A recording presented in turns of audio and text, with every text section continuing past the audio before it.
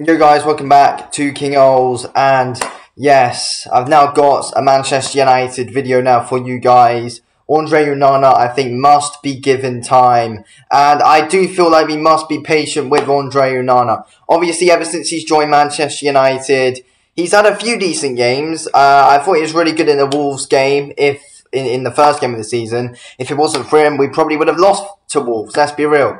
Uh, in the Tottenham game, we would have got we would have got smashed by even more goals if it wasn't for Onana. In I mean, but in that Arsenal game though, in the Arsenal game, I feel like he could have saved like two of those goals. Let's be real. He was pretty. He's a bit poor in that game, to be fair. Should have at least saved what like the second goal. I think it was. I mean, yeah, I think yeah, kind of being beat at his near post, and obviously yesterday, stupid sloppy mistake made uh, as well. Um, but look, I think we need to give Onana a bit of time to settle into the Prem. The Premier League is completely different to every other league as well. Let's be real, it's the hardest league to play in in the world, so.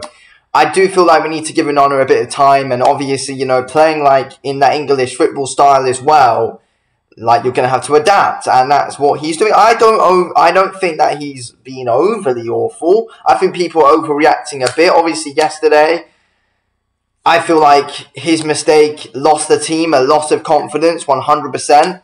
I wouldn't say it's his. I wouldn't say it's his complete. I wouldn't. It's not completely his fault why we lost that though. It's not at all. It's not Onana's fault why we lost that game. Not just his fault. Anyway, yes, he did have a bit of a part to play in why we lost, but it's not just his fault. Um, I mean, the midfield was awful. Uh, defense was awful as well. Uh, but yeah, Onana, he's he got he's got the capabilities. Let's be real. When I feel like you know, I I love David De Gea obviously, but I think it was time he that for him to leave. And you know, his style, uh, De Gea's style of play isn't just it's not what you get in modern day football anymore. That's why that's why not many teams are you know really desperate to sign him anymore. It's the truth. And I, you know, I like De Gea, but it's the truth though.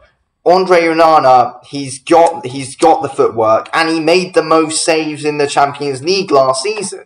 So he's a shot. He's one hundred percent a shot stopper. He is a shot stopper. There's that's not an excuse. He's a very good shot stopper who's very good with his feet. I feel like I, he, but you know, yesterday. I, but let's be real. Has he really done anything special with his just yet? Though probably not. That's the that's the thing. I mean, you know, distribution it is better. You know, he seems a lot more calm and composed, but we haven't seen absolutely amazing stuff from him just yet. And that I, I do think is on some of our players as well. Though they're not positioning themselves right. They're not fully always getting away from their man. Um, Andre Onana, he did have some good distribution moments against Wolves. That was his best game that he's had for us yet. He did against Tottenham as well. He had some good distribution moments. Yesterday, very poor. Distribution was poor. Um, it was. But, you know, I do think he's someone that needs to be given time. And, you know, the goalkeeper's a big part in a team. You need to adapt to the way uh, the players need to adapt to the way that the goalkeeper likes to play, and we also need to remember that the players need to get used to it because we haven't had someone with you know as good of distribution as Onana in a long time. Like Onana's clear over De Gea distribution wise, one hundred percent. Shot stopping wise, probably not, but you know Onana's still a really, really, really play good shot stopper. But, you know, look, overall, he needs to be given time, Andre Onana.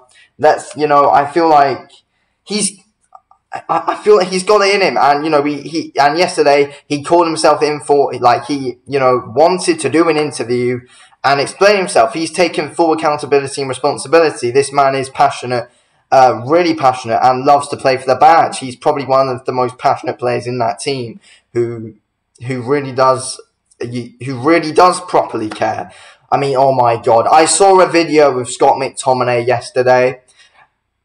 Uh, it shows him like with an awful first touch trying to go in for a tackle. Then he lets the Bayern player run right through him, and there he is, just and he's just walking, not even trying to track back to the midfield, just staying in it, just staying in Bayern's half. I mean, Scott McTominay is awful. Sell him no passion at all. Onana is one of the most passionate players in the team. Alongside, I mean, you know, we got a few, we have got quite a few passionate players. We got Onana, we got Martinez, we got Varane, we got Bruno, we got Rashford, Højlund. Yeah, I mean, there's many more as well, but there are certain players who don't have passion, and they're the ones that piss me off the most, such as the Scott McTominay, such as the Harry Maguires.